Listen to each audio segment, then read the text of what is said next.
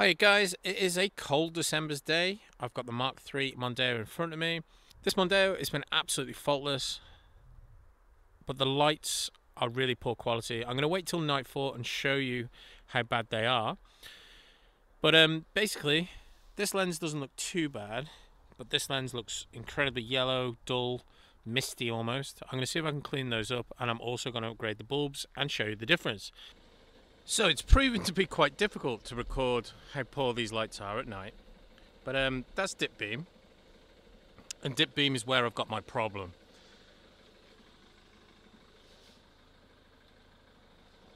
And that's main beam. So I guess if I keep the camera on the same settings, I keep the car in the same place, I replace the bulbs and clean the lenses, and if I can see the mound of the soil in the middle of the field from the exact same space, then I guess they've improved it. Well, this is the first headlight removed. If you were just cleaning up the lenses, you probably wouldn't remove the whole headlight unit, but it's easy enough on the Mondeo. Um, in all honesty, I think these lights need replacing. So the back cover clips are broken. I'm gonna have to drill something here, I think, and put a cable tie through. Uh, the rubber seal, it's deteriorating. Yeah, as you can see, they're not great. But I'm working with what I've got. So I've got the 800 grit on a flexible foam pad. I'm just going to keep going in the same direction all the way along.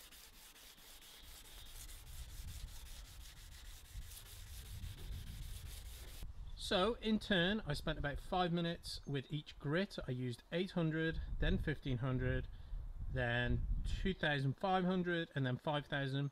The 5000 would have been overkill for definite, but I've got it, so I used it. I'm now going to find some plastic polish, give this a polish up with a microfiber cloth.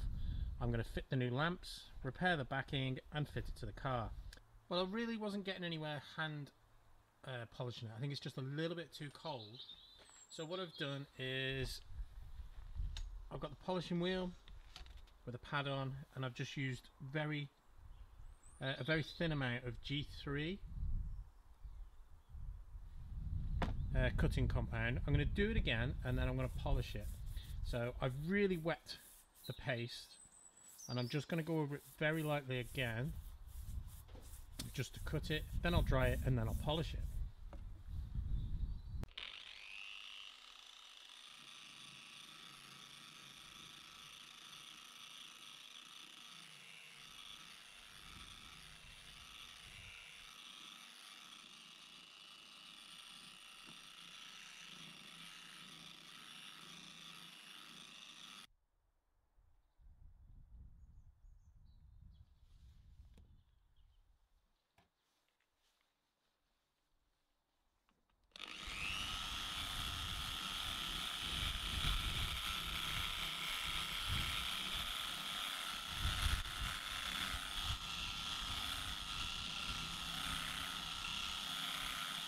Well guys, I've replaced the bulb. The H7 is the big one. Uh, that's a H1. I don't know why I had it in my head that it was H4 and H7, but um, I don't need the H4. They can be sent back.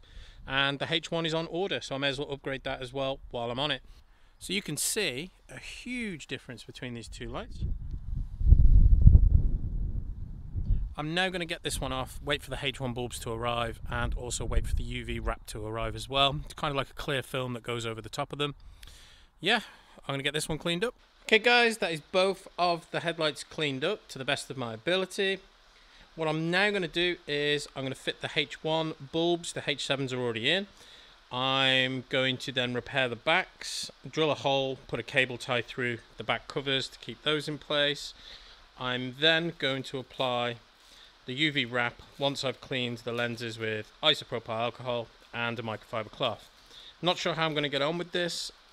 There's not even any instructions, but I'll have a play. Let's see how we get on. The new bulbs are in the lights. Um, all the backs tidied up on the lights. I was just going to apply this film. It's not the stuff that I uh, expected at all. This is made by Kimis, K-I-M-I-S-S. It is way too thick and it's sticky backed as well. So it's going to be a nightmare applying it to those lights. I'm going to see if I can find something else. If you know anything else that you've used, the water application stuff would be great. Please do post below and I'll fit that another time. But now I'm going to get the lights fitted to the car and wait for it to go dark. So you're going to give me a hand with these headlights or what? A thousand worms? You're not having a thousand worms. You can have ten. Ten worms. Alright, 15. Deal. Get the screwdriver. Come on. Let's go. That's the headlights fitted to the car and I've got to say I am quite impressed. They do look good. Hopefully though they will they will improve the quality of night driving. So I'm going to wait till nightfall now and see if we see any improvement. Well guys, the car is in the same position as it was the other evening. Uh, it hasn't moved for the last couple of days. The camera might be in a slightly different position. I never thought about the camera position at the time of recording. Um, this is dip beam and it's such a huge improvement.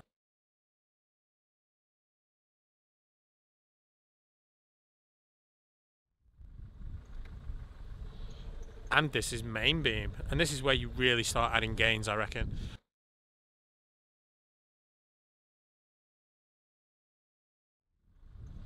Obviously I'll know better when I take it for a drive, but yeah, I'm pleased. I'm just going to say thank you for watching.